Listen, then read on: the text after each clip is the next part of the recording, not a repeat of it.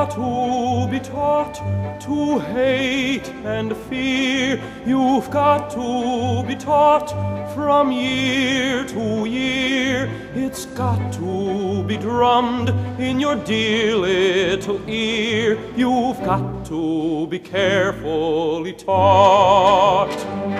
You've got to be taught to be afraid of people whose eyes are oddly made and people whose skin is a different shade. You've got to be carefully taught. You've got to be taught before it's too late, before you are six or seven or eight to hate all the people your relatives hate. You've got to be carefully taught.